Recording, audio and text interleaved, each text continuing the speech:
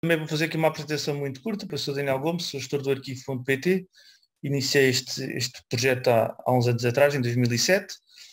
Um, pronto, e este é o primeiro, uh, o primeiro webinar de um ciclo de webinars que temos o prazer de estar organizado com a Direção-Geral do Património Cultural.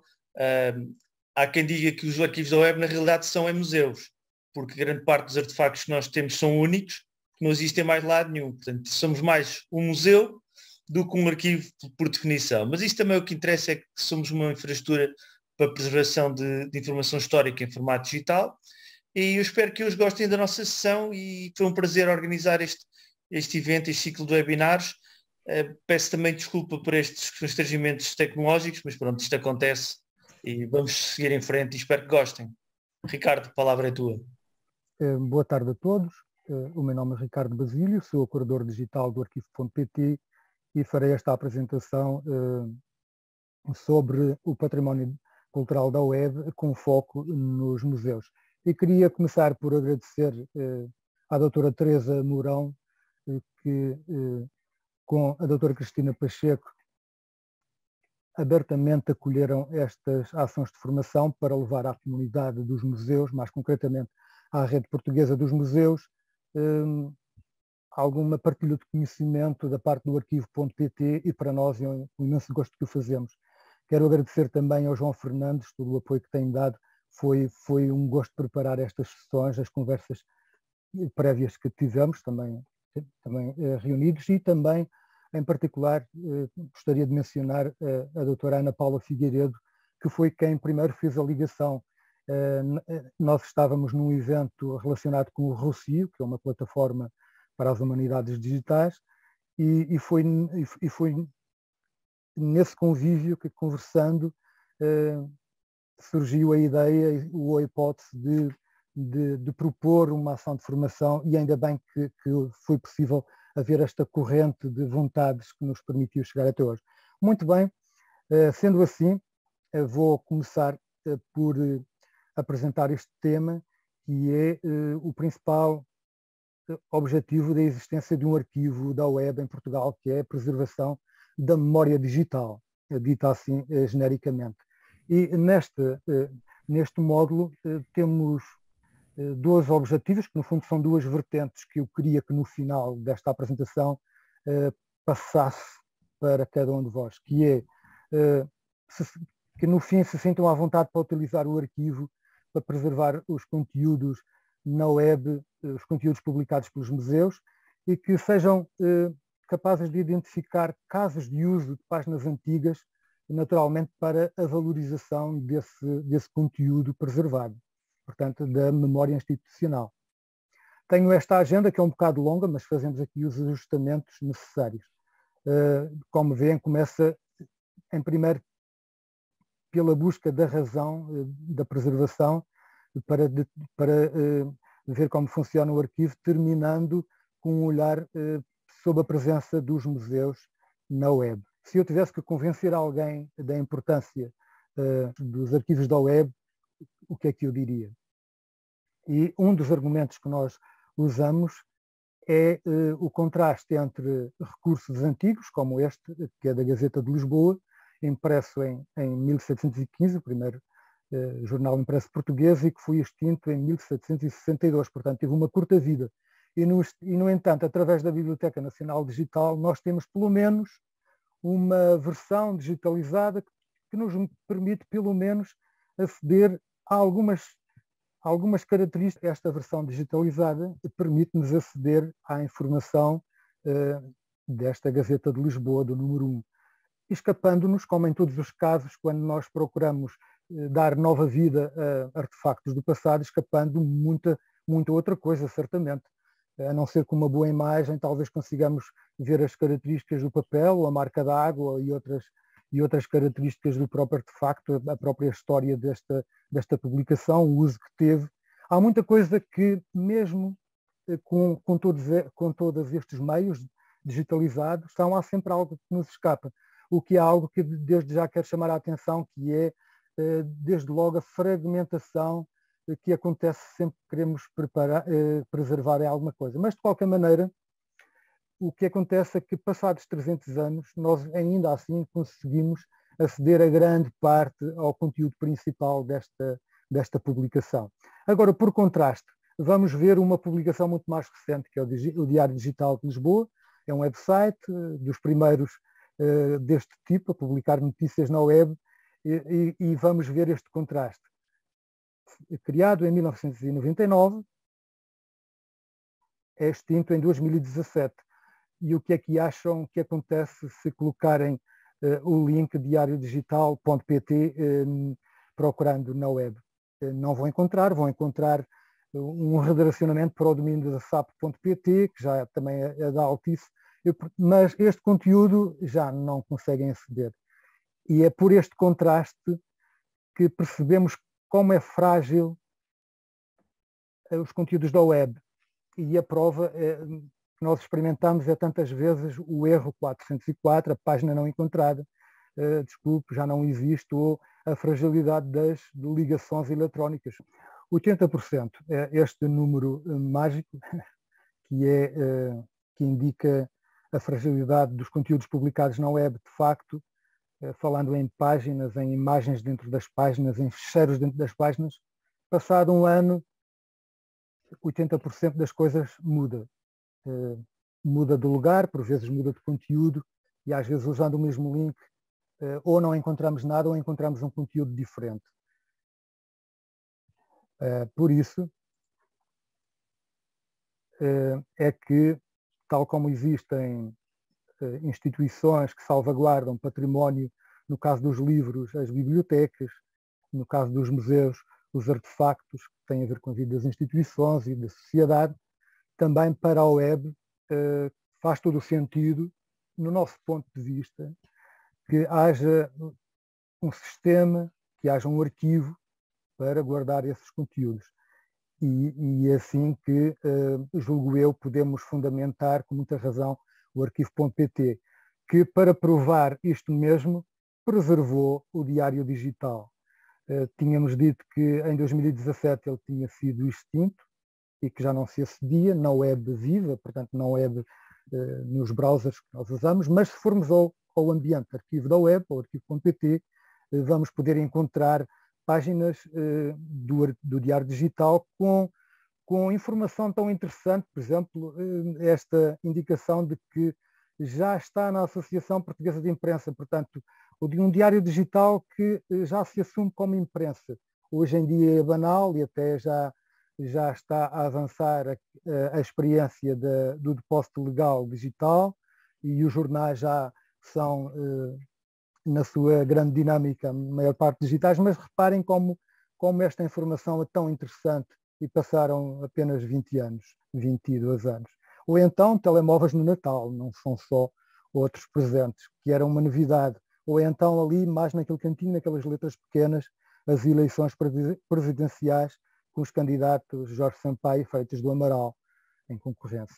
Estão a ver como isto é interessante. Por isso, eh, sem dúvida, o arquivo.pt tem o seu lugar. É um, um sistema diferente.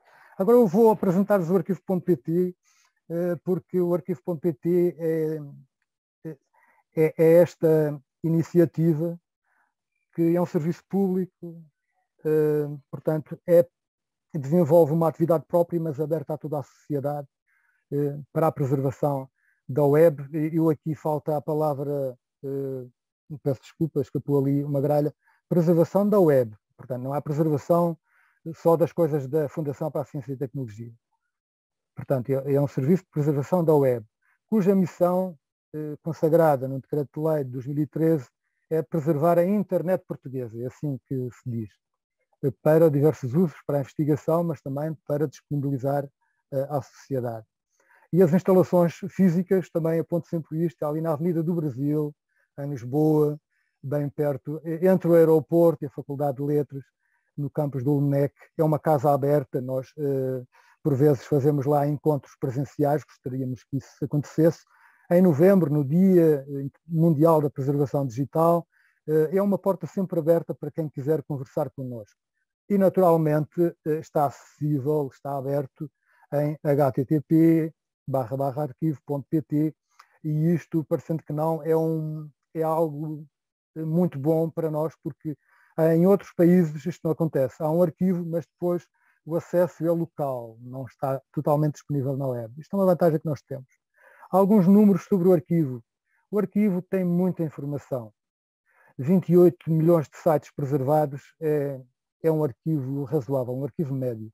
Não é o dos maiores do mundo, o maior é o Internet Archive, mas eh, para servir na web quase um terabyte, portanto 852 eh, terabytes em, em, formato comprimido, portanto eh, quase um petabyte, digo, é, é, é, preciso uma infraestrutura grande com estes números que eu coloco aqui, não é para impressionar, mas é só para terem uma ideia eh, da infraestrutura que, que é necessária para pôr um, algo disto eh, em ação. Aqui uma imagem eh, dos computadores, que, ehm, que é algo que felizmente nós temos, ou seja, Uh, o arquivo.pt é um serviço da FCT e como tal é um serviço uh, relativamente pequeno, com uma equipa pequena, mas beneficia de estar numa estrutura grande, uma, estrutura, uma infraestrutura tecnológica que permite estas sinergias. E isto também é, é um, uma lição para, para a maneira de fazer uh, estas coisas. Quanto mais sinergias houver, melhor. Neste caso, eh, dizia que a equipa era pequena e é mesmo pequena. Já, já eh, teve sete ou oito elementos, mas agora está, está mesmo, eh, está, está, mesmo com este tamanho e, e, podem encontrar esta informação na página informativa do arquivo sobre arquivo.pt. Eu retirei aqui, ao falar do arquivo, alguns prints, tendo em conta que estamos a falar para a comunidade dos museus para o Ministério da Cultura, portanto, há eh, uma organização eh, que está, que está eh, no âmbito do Ministério da Cultura, dizendo aqui alguns prints do que se fez antes do arquivo.pt, ou seja, para o arquivo.pt nascer houve, digamos, uma preparação, outras pessoas também colaboraram para que se criasse essa consciência da preservação da web. Deixo aqui esta referência.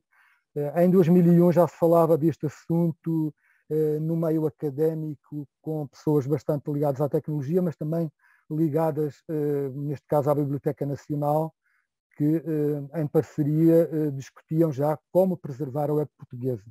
Aqui temos, por exemplo, em 2006, esta página, eu verifiquei, foi recolhida pela Biblioteca Nacional entre 2004, 2005, 2006 e eles fizeram uma recolha na altura de, de, de, uma pequena seleção de sites da, da web portuguesa e depois doaram essa recolha ao arquivo, que agora se encontra disponibilizado também através do arquivo. Isto é, isto é interessante também recordar. Ainda há dias estivemos em Viseu, no, encontro, e vinha alguém, uh, vinha alguém lembrar-se destes tempos em que também tinha trabalhado neste projeto, sentindo-se, de certa maneira, uh, como parte da família como parte daquelas pessoas, da comunidade que, que cuidou e cuida dos arquivos da web e da memória digital. Uh, este foi o projeto uh, que deu início, esteve na base do arquivo.pt, onde trabalhou uh, o nosso gestor, Daniel Gomes, e que era Tomba. Isto foi desenvolvido por um grupo da, da Faculdade de Ciências, que estão ali mesmo ao lado da Torre do Tombo, e sabemos, pelo testemunho deles, que que deram este nome precisamente eh, para querer dizer que, tal como há a Torre do Tombo para um determinado tipo de arquivo histórico, também devia haver, eh, devia haver o correspondente para a web. Daí, daí o nome Tomba, que é muito engraçado e que, e que, e que, eh, e que reflete bem a dinâmica destes, destes anos. Isto é em 2007, quando o arquivo.pt foi fundado. Depois, em 2010, o arquivo.pt já eh, eh, trabalhou em algo que, que, o caracteriza especialmente entre todos os arquivos da web, que é ter uma interface de pesquisa bastante desenvolvida. Se for um Internet Archive, por exemplo, têm ou sabem o endereço da página web para encontrá-la ou não a encontram. No caso do arquivo.pt, começou-se a desenvolver esta interface de pesquisa também por palavra, que depois, mais tarde, veio a dar outro tipo de pesquisa por imagens e por, uh, e por outras formas, pesquisa avançada, tudo, tudo isso uh, Esta é a característica do arquivo.pt, não apenas recolher eh, conteúdos da web, mas também arranjar formas de eh, chegar a esses conteúdos. Porque é uma lição da preservação digital, não serve de nada preservar se depois as pessoas não podem aceder. O acesso faz parte integrante da preservação digital, da preservação, seja ela qual for. Também em ambiente museológico, ambiente de arquivos. Agora, eh, uma pequena passagem pela interface do arquivo, de que eu falei, eh, para poderem usá-la. Em princípio, não devia ser preciso. Eh, se está bem feita, não era preciso explicações. De qualquer maneira, resumindo, podemos dizer que no site do arquivo, arquivo.pt, podem pesquisar por endereço, por texto, por imagem, e não vamos falar, mas vou referir, podem também obter dados através de APIs, de forma automática. No arquivo é possível pesquisar por, por textos e imagens do passado. Neste caso, eu fiz uma pesquisa Museu do Chiado e obtive uma lista de resultados como se fosse no Google. Neste caso, vamos usar a, analogia, um Google para o passado. Eh, se eu pesquisar por URL, se eu souber o endereço de uma página e eu colocar na, na, caixa de pesquisa, vou obter uma grelha com todas as versões existentes para aquele endereço, para aquele endereço específico. O que é interessante, dá um acesso rápido. Clicando num destes links, abre-se uma página naquela data. Há também uh, outra forma de, de, apresentar, em vez de ser em tabela, desta forma horizontal. Por exemplo, se abrirem no telemóvel, uh, no smartphone, é assim que surge esta linha temporal, esta, este desdobrar das versões de um site ao longo do tempo. Dizia eu que no arquivo podemos pesquisar por imagens. Eu pesquisei Museu do Chiado e obtive um conjunto de imagens. Eu eh, também, até na pesquisa do Google normal, eu eh, pesquiso muitas vezes por imagem, porque a imagem é mais imediata e é logo, eh, dá-nos logo uma pista do que queremos encontrar. E aqui chama a atenção que a pesquisa do arquivo não é bem como a pesquisa em sistemas de biblioteca, de arquivo ou de museus. Não é aquela pesquisa controlada eh, com vocabulário controlado que às vezes os profissionais da nossa área estão habituados.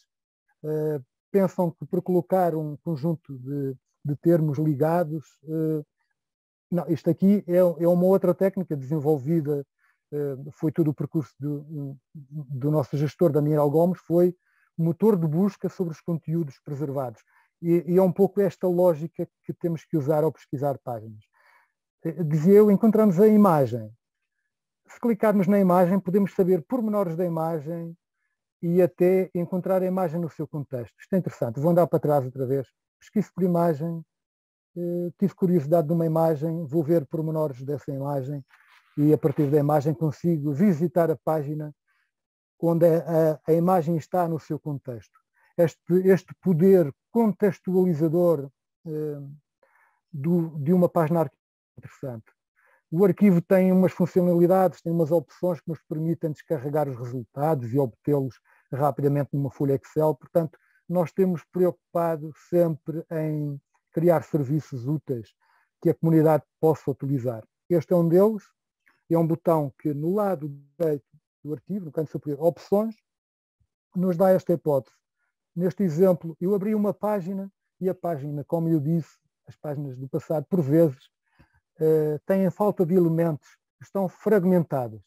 E então este serviço permite fazer uma tentativa de encontrar uh, na web, se por acaso essa imagem ainda estiver na web, alguns, ou então no Internet Archive, se essa imagem tiver sido preservada pelo Internet Archive, permitir lá buscar essa imagem que falta e completar a página, dando assim, neste caso da artista Cristina Guerra, um aspecto eh, muito, muito melhor. Portanto, dá uma reprodução muito mais perfeita e este objeto eh, fica também guardado no arquivo para futuras visitas. Eh, também há uma funcionalidade nas opções do lado direito, que é quando que é, eu estou a fazer um trabalho de investigação, por exemplo, e quero referir uma página web, um print, quero apresentar no meu trabalho um print de uma página web habitualmente o que eu faria era faço uma, uma impressão de tela, uma, um print screen, que ficaria como essa imagem que vem aí no lado esquerdo, e usaria no trabalho. Mas muito melhor que isso é uma função que permite imprimir a página em todo o seu comprimento, a página completa. E esta foi uma ideia dada por utilizadores nossos que disseram que sentiam falta desta funcionalidade. Tudo o que a comunidade nos disser é, é útil para o, arquivo desenvolver eh, serviços novos. Este serviço que aqui está chama-se hum, narrativa e é um serviço que foi acoplado ao arquivo, que foi integrado. Uh, isto, eu introduzi Museu do Chiado, cliquei no botão narrativa e ele vai procurar num conjunto de jornais portugueses, 24 jornais, notícias sobre o Museu do Chiado, que agora tem outro nome, não é? Mas isto permite-me rapidamente ter uma visão sobre, uh, sobre algumas referências uh, que, que, foram publicadas em páginas web.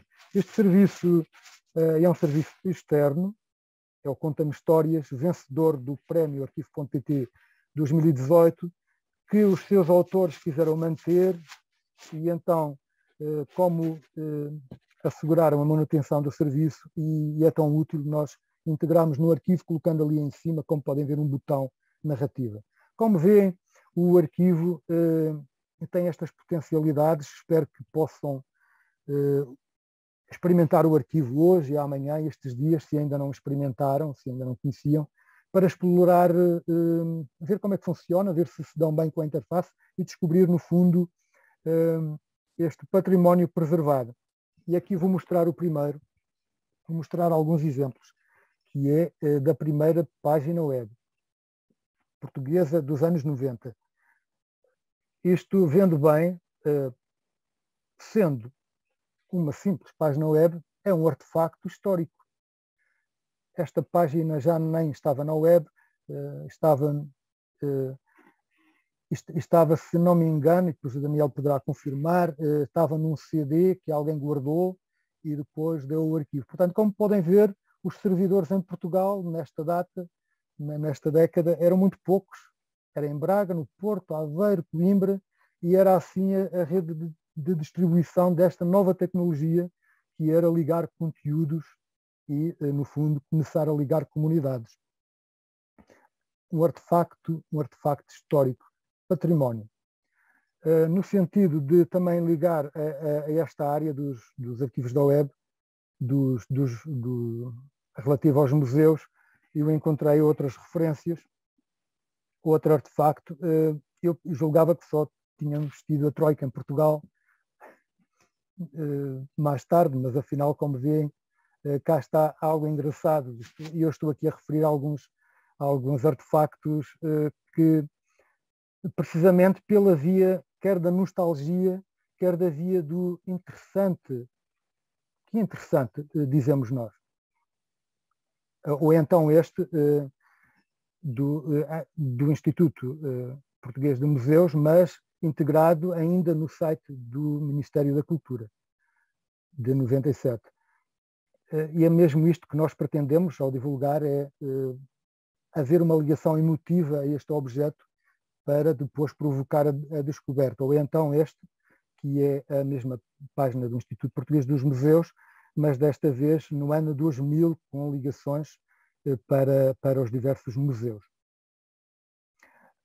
Eu vou demorar um pouco uh, aqui neste, mas isto, isto é interessante. Uh, eu tinha encontrado esta página uns anos. Isto é a primeira página web do mundo, feita pelo, pelo fundador da web, Tim Berners-Lee, uh, na década de 90, 91, foi quando ele apresentou publicamente esta página, já tinha começado a desenvolver no ano anterior, em, há dois anos antes, em 89. Uh, e isto, isto, é engraçado. Se, se, hoje forem colocar na web este link que aqui está, ou colocar em primeira página da web, encontram-na. Mas encontram-na uh, como um texto que está ligado, com conteúdos ligados, no meu browser. Encontram-no semelhante a esta página aqui do lado direito, branquinho, com este fundo branco, assim uh, o conteúdo está preservado. Mas uh, eu tinha tido a experiência de ter encontrado há algum tempo, em 2019, a página com um aspecto antigo, tal como via aí no lado esquerdo. ou seja, no fundo foi um projeto em 2013 em que alguém disse vamos tentar reconstruir o artefacto antigo, que era a primeira página da web, do mundo, e torná-la o mais possível semelhante eh, até na cor das letras, na cor do fundo, na maneira como se navega, torná-la o mais semelhante a isto possível. E, e assim foi. Eh, criaram este projeto em que temos esta sensação, em que temos esta aparência. Eh, isto significa, isto já é um nível diferente de preservação, em que se tenta também emular as máquinas, tentamos eh, imitar também um aspecto que as coisas tinham a determinada altura. Portanto, vamos reconstruir também o suporte em que ele estava. O interessante é o seguinte, esta página preta, esta página aqui do lado esquerdo, também já não existe na web. Eu pensei que ainda estava em cima, digamos assim, mas já, já não está acessível no CERN, portanto, no, onde, onde, onde o Tim Berners-Lee trabalhava nesta altura, na Suíça. Curiosamente, está uma versão desta página, muito pobrezinha, mas está lá, no arquivo.pt e ainda conseguimos algumas interações precisamente com esta cor das letras e com este fundo. O que é interessante, alguém tenta reconstruir um sítio web antigo, esse projeto, entretanto, é esquecido, vai para baixo, mas se houver um arquivo da web que, que preserva esse trabalho de recuperação, eh, nós ainda conseguimos, pelo menos, saber desse esforço de preservação. Eh, nós fizemos umas formações eh, aqui há um tempo em que queríamos acentuar a ideia verdadeira de que o património digital, património preservado, é património, tal como o é o património, o património móvel. Isto, isto não é uma ideia clara para toda a gente. Quando nós apresentamos uma página web, há muitas pessoas que dizem, mas isto é património. Neste sentido, são os slides seguintes. No arquivo.pt nós temos património popular, cultura popular. Este foi um, um projeto, um levantamento que um, um investigador da, da, da, Faculdade de Ciências Sociais e Humanas, atualmente doutorado do, do Instituto de História Medieval, fez sobre o punk de História eh, Contemporânea, da Nova, eh, fez sobre o Punk Strategies, que era um movimento dos anos 90, que atualmente já não existe, e, cujo, e cujos vestígios estão muito nos websites, nos conteúdos que circulavam entre essa comunidade uh, aqui na região de Lisboa através da web. Straight Edge. Uh, visitem este, este projeto uh, neste link que eu depois vos farei chegar através dos slides, porque não se trata apenas de nostalgia, como eu disse há pouco, mas trata-se de também usar estes artefactos para, para o estudo, para a investigação. Neste caso, este investigador, Diogo Duarte, eh, concluiu, sobretudo, eh, acerca da relevância que o Strategies teve para algumas tendências, para algumas práticas que hoje em dia se vieram a afirmar, como, como os movimentos anti-touradas e, e, outros, eh, e outros movimentos relacionados com, com, este, com este modo de vida. Queremos afirmar também que eh, no arquivo.pt há património europeu. O arquivo.pt não preserva só páginas portuguesas, também preserva páginas eh, estrangeiras. Neste caso, sobretudo, focou-se em projetos de investigação eh, financiados pela União Europeia. Não havia muita atenção dada a esses projetos e o arquivo tive esta iniciativa de gravar páginas, incluindo páginas que tinham como propósito, como esta aqui, que era preservar, eh, preservar a investigação uh, ao nível europeu. O arquivo.pt também uh, preserva, e vamos dizer assim, património mundial. Estamos aqui a reforçar, estamos a dramatizar esta ideia de património, uh, mas o fundo é precisamente este facto, as páginas são, são, são património, e nós, como arquivo, eh, pertencemos também à comunidade internacional dos arquivos, International Internet Preservation Consortium, e eh, colaborando eh, com recolhas eh, colaborativas, nós também contribuímos para eh, páginas eh, para que essas coleções estejam preservadas e nós próprios no arquivo integramos essas coleções. são coleções que estão quer no Internet Archive, quer no arquivo.pt. Portanto, no arquivo também se encontram páginas de todo o mundo. Ultimamente, só por uma breve referência, nós uh, começámos uma colaboração com a Wikimedia, a Portugal, cujo objetivo é uh, ir a todas as referências que se costumam fazer cada vez mais nos textos, sejam textos da, da Wikipedia, sejam textos de investigação, uh, a conteúdos da web. Tudo que começa por HTTP, portanto, tudo que seja um URL, nós uh, vamos procurar, no caso da Wikimedia, da Wikipedia, uh, que esses URLs, esses links, sejam pelo menos uma vez gravados, para que quando alguém clicar nesses conteúdos, possa encontrá-los ao menos num lugar e que esse lugar seja, em último caso, o arquivo.pt. E daí a questão que nós também colocamos, eh, que é o valor do património, que é eh, algo pessoal, uma coisa muito preciosa quando nos salva uma situação, para recuperar um trabalho, para aceder a uma, a uma informação histórica ou às vezes para para currículo, por exemplo, é algo muito pessoal, mas também se quisermos objetivar, podemos fazer aquele exercício que penso que é válido também para outras áreas.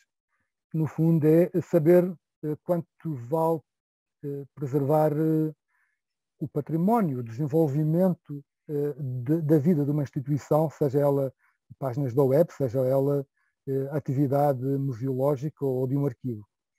E reparem, 5.600 euros é o que custaria um site. Imaginam também se a isso juntarmos o trabalho de edição, as pessoas que produzem conteúdos. E eu estou a falar dos sites, mas já penso nos sites e nas versões desse conteúdo para redes sociais. Reparem o esforço enorme que está aí empreendido. E a questão é, não valerá a pena eh, também fazer algum esforço para documentar, para manter, para gravar, esse conteúdo para o futuro, para os mais diversos usos, reutilização, mas também até para, para herança. Uh, e, portanto, são estas contas que nos dizem que uh, se somássemos isto tudo, toda esta atividade que as organizações têm com os sites, uh, estaríamos a falar de preservar este valor que é muito mais do que um património que é, que é muito mais que o PIB de um país. Portanto, eh, isto eh, penso que é um exercício que pode reforçar esta ideia da, da preservação digital. Um ponto da situação, eh, eu, nós nestas, nestas apresentações planeamos deixar as questões para o fim. Ah, e estamos neste ponto da agenda e eu vou passar a algo específico do, da presença da web nos museus. Foi um ponto que foi introduzido nesta apresentação para que uh, para que possam também depois partilhar as vossas perspectivas com o arquivo, porque no fundo é isto que interessa, é partilharmos a nossa experiência, mas depois termos de volta o, vosso feedback e o vosso acolhimento para nos ajudarem a fazer melhor. Eh, estamos aos 35 minutos de apresentação e às 16h26. Isto só para dizer que, que estou atento eh, para que eh, não passemos da hora e, por outro lado, tínhamos também referência a todos os conteúdos que preparamos. Eu introduzi nesta apresentação este tópico de presença dos museus na web para para partilhar algo que a equipa do arquivo eh, tem vindo a fazer. Tem havido uma grande preocupação no arquivo de ligação à comunidade, ou seja, eh, eh, nós dedicamos o arquivo, como veem, manter um, um, serviço durante 15 anos é algo notável, notável. Não é fácil manter um arquivo da web eh, tanto tempo, um arquivo na web durante tanto tempo, e nós estamos atentos à comunidade. E por isso vamos sempre, não apenas cuidando do, do arquivo, mas direcionando a nossa ação para, para quem eh, possa interessar. E neste caso, eh, os museus e as pessoas ligadas aos museus são uma dessas comunidades. Por isso, a primeira, o primeiro passo que nós fizemos foi identificar a presença dos museus na web. E o primeiro passo é identificar quais são os seus websites e, se possível, também os seus canais, os principais por onde comunicam eh, através da web. Neste caso, está ali uma coluna com o Facebook.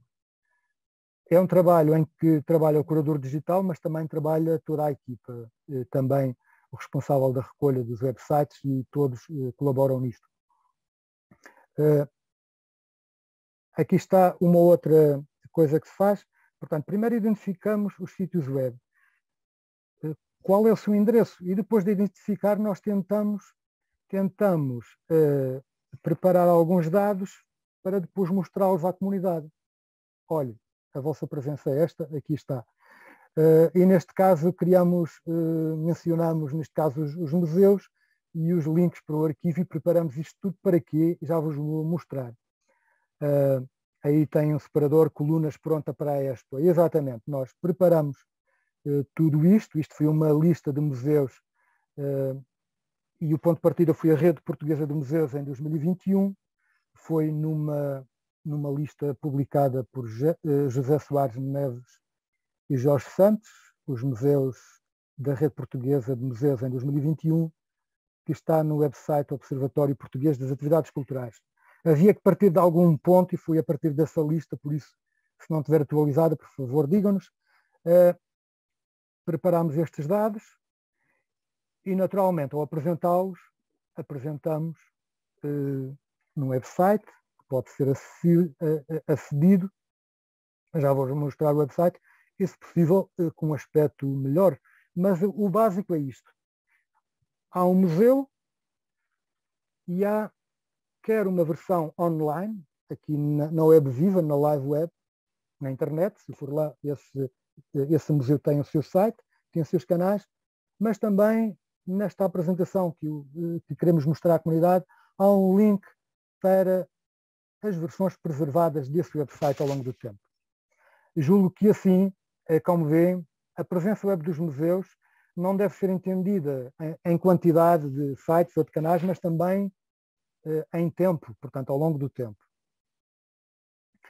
E foi assim que uh, se preparou, a partir do arquivo, uma pequena exposição ilustrativa apenas para, para chamar a atenção, para sensibilizar, que se chama uh, Memória, Memória Web dos Museus. Encontram neste link, está um sítio web gratuito, de, feito de propósito no wordpress.com, para também, ao nível da formação, mostrar à comunidade que para fazer uma memória para, para mostrar a memória dos museus ou de outra área temática, de outra área da ação, um, por vezes não é preciso uh, tantas infraestruturas quanto isso, às vezes basta um pouco de criatividade. E foi assim que nós criámos esta exposição. Eu vou mostrar-vos rapidamente a exposição. É focada no sítio web, na história do sítio web foi desta forma, foi redigindo um texto que as pessoas podem ler e, e ao clicar nestes links, saltar para e aceder a páginas preservadas que documentam o que se diz no texto, eh, mas pode ser de outra forma.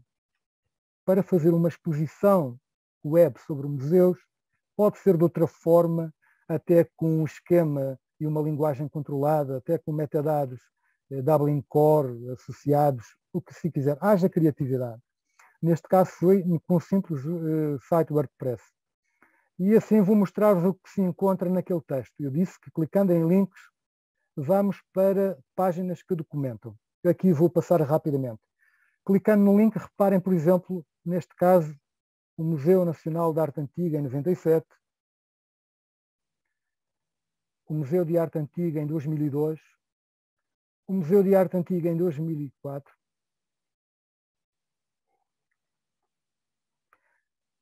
que documenta que nessa altura estava em manutenção, em 2009, em 2013, reparem a quantidade de informação que ao longo do tempo nós podemos ter eh, sobre um determinado website que no fundo acaba por ser a voz de uma instituição, acaba por ser uma faceta da sua presença na sociedade. Em 2014, depois eh, o, o template mantém-se igual até à atualidade, mas uh, nessa exposição podemos escolher momentos, neste caso eu escolhi este, desta exposição uh, já do século passado, uh, reforçando o valor do artefacto do ponto de vista emocional, mas também como incentivo a usar esta, esta, esta informação do passado. Dizia eu, e vou reforçar, uh, o valor que um arquivo da web tem para mim é muito importante e, e a forma de o perceber é quando, por exemplo, queremos uh, documentar o nosso trabalho e não temos como, porque uh, a documentação do nosso trabalho ficou em referências web. Eu lembro-me que isso aconteceu, foi em 2009, eu colaborei no Festival de Cinema Indie Lisboa, uh, lá na, no staff. E quando procurei documentar essa minha, essa minha colaboração, a página que eu documentava não estava. Eu fiquei com muita pena porque eh, tarde conheci o arquivo.pt, só, só a partir de de 2012, 2013 é que tive notícia. Eh, mas reforçando este aspecto pessoal, eh, eu queria, dizia eu, casos de uso. Portanto, o primeiro é documentarmos o, o nosso, a nossa atividade pessoal e também institucional no arquivo da web. E o segundo, agora vou apresentar-vos aqui uma colaboração interessante que tivemos uh, com o Movitour, Museu Virtual do Turismo, com uh, a Biblioteca Celestino Domingos, da Escola Superior de Hotelaria do Estoril, em que reparem aqui o que é que, o que, é que há interessante. Primeiro, vou começar pelas letras mais pequenas. É aquele link deste, deste print screen que eu fiz. Reparem que isto é um sistema, isto é um Nairon, é um sistema de catálogo, semelhante àquele que usamos uh, ou em museus, ou em bibliotecas digitais, nesse contexto. E o esforço qual foi? Foi introduzir num sistema desse, com um esquema de, de, de, de descrição dos, dos, artefactos, também páginas web, que ainda não estavam consideradas entre as coisas interessantes a ter numa, numa biblioteca digital. Então, esta colaboração foi um esforço apenas iniciado, ainda, ainda há muito por fazer, ainda há muito trabalho a fazer em relação a isto, mas foi o início e coloquei aqui este exemplo, em primeiro para louvar este exemplo, que foi muito interessante a colaboração, mas também para sugerir eh, algo deste género que já se faz em algumas bibliotecas e em algumas instituições do mundo, que é inserir eh, artefactos preservados da web dentro de sistemas existentes nas instituições. Da forma que for possível e da forma que as instituições assim entenderem, contando com o arquivo.pt. Ou seja, o arquivo.pt, vamos dizê-lo, é a estrutura pública de preservação da web, disponível para todos. Há inclusive interfaces de, de acesso automático, em que se pode ir lá buscar dados, e as instituições podem, eh, informalmente, podem ir por si mesmas, podem ir até de uma maneira mais formal, se pretenderem uma colaboração mais formal, podem eh, recorrer a esses recursos, eh, passo, eh, que estão no arquivo para construir, para construir eh, algo sobre o seu património digital. Porque eh, manter um sistema como o que o arquivo.pt tem leva ao tempo, como viram, e é uma grande estrutura e já dissemos que as sinergias são aconselháveis nestes casos e em todos eh, é bom as instituições e as tutelas dialogarem e colaborarem. Vou passar à frente. Este é um exemplo interessante que nós temos algo que chamamos viagens no tempo. Este foi um output, foi um resultado da tal colaboração com o Movitur, uh, chama-se Casinos dos Estoris, uh, talvez pesquisando no Google encontrem, Uh, e isto é uma linha do tempo em que se assinalam pontos na vida, deste caso do casino do Estoril, e se aponta para páginas preservadas. Foi um excelente trabalho, num formato diferente daquele que estávamos habituados a fazer com outras instituições, as tais viagens no tempo que qualquer instituição pode fazer. O arquivo está ali eh, e podem eh, identificar pontos relevantes da história da vossa instituição, identificar os links, os longos links do arquivo e estabelecer e fazer links para lá. Este, este, esta linha do tempo é, esta é uma template gratuita, podem usar, já está feita, não custa nada a fazer. E se tiverem dificuldade, em algum caso, em alojar este pequeno site, estão no fundo uma página, eh, podem falar com o arquivo para, em colaboração com o arquivo, eh, prepararem esta linha do tempo e, se for preciso, eh, alojá-la no, nos servidores de, do arquivo.pt, como vem aqui, no domínio do arquivo.pt. Este é um exemplo internacional, não é que eles precisem da nossa publicidade, eh, mas eh, só porque tem a ver com museu, eh, eles mencionam a palavra museu, que é o Web Design Museum, em que eles construíram este sistema em que apresentam artefactos, e os artefactos são páginas web que documentam ou tendências ou, ou, ou, ou práticas do passado. E o que é que tem a ver com o arquivo.pt? Eles usam eh, milhares de páginas existentes no, no arquivo.pt que não, e que não estão no Internet Archive eh, para também construírem esta, esta, este museu do web design. Isto é uma iniciativa eh, checa, da, República Checa. Portanto, nós conhecemos os, os, os, autores, também já falámos com eles, e como veem, o arquivo.pt é usado até fora de Portugal de uma forma aberta. Outra forma, eu falava de casos de uso, não é? Os casos de uso interessantes que têm acontecido, eh, eu dir-vos-ia muito que são eh, aqueles eh, concorrentes ao prémio arquivo.pt, que é anual, e que qualquer pessoa pode, a que qualquer pessoa pode concorrer.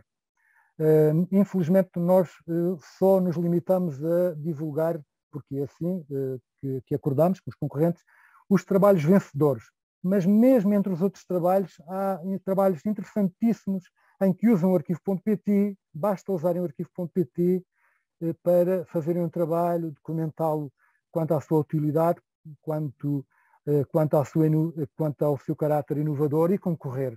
Ainda é um valor interessante para eh, mover vontades. Para aprender mais, podem descarregar este livro, que tem uma versão pré-print onde encontram hum, muita informação uh, atualizada sobre a preservação digital em inglês e uh, o diretor uh, desta edição, portanto, foi, foi o nosso gestor do arquivo.pt, Daniel Gomes, e é com muito orgulho que apresentamos sempre este, este slide. De facto, o arquivo tem sido, através das suas pessoas e através da sua da sua plataforma, reconhecido internacionalmente. E este livro também é prova disso. Uh, participem e visitem o café com arquivo.pt, arquivo.pt barra café, onde uh, foram apresentados muito, muitos casos destes que falei interessantes, e um deles, que aqui está, da doutora Sandra Antunes, que está aqui Uh, talvez alguns a conheçam aqui neste quadrado castanho, quase a chegar aqui mais para o lado direito, a doutora Sandra Antunes, que fez uma tese de doutoramento sobre, na Universidade de Aveiro sobre uh, as, o que seria uma interface do web design português. Neste café, nesta sessão do café, podem procurar arquivo.pt barra café, podem uh, aceder também no canal YouTube à apresentação, só para vos dizer que temos estas sessões do arquivo e estou mesmo, mesmo, mesmo a terminar. Uh, amanhã teremos um webinar uh, sobre bem publicar para bem preservar, apresentado pelo nosso colega, uh, o, o, engenheiro responsável das recolhas do arquivo, Pedro Gomes, e isto é muito interessante porque coloca a questão logo preservar começa logo na produção dos websites. Não vos digo mais, julgo que será muito interessante, coisas que às vezes básicas, não é uma coisa muito técnica, mas é muito interessante para nos lembrarmos de como fazer sites verdadeiramente preserváveis e que quebrem o menos possível no futuro. Junte-se ao arquivo, divulgue, inscreva-se uh, neste link.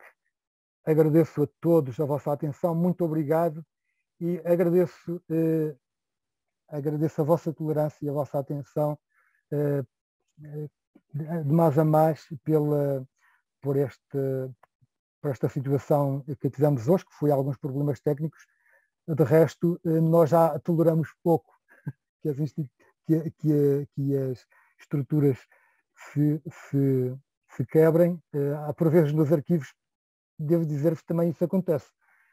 Eh, é muito bom preservar arquivos da web, mas muitas das vezes temos reclamações, e com muita razão, dos utilizadores que dizem ah, estou aqui a ver este, esta página de 2005 mas uh, faltam aqui imagens, faltam aqui textos. Amanhã vamos entender porquê e vamos entender uh, como é que o contexto tecnológico limita também a preservação integral como idealmente seria feita. Muito obrigado por tudo, mais uma vez.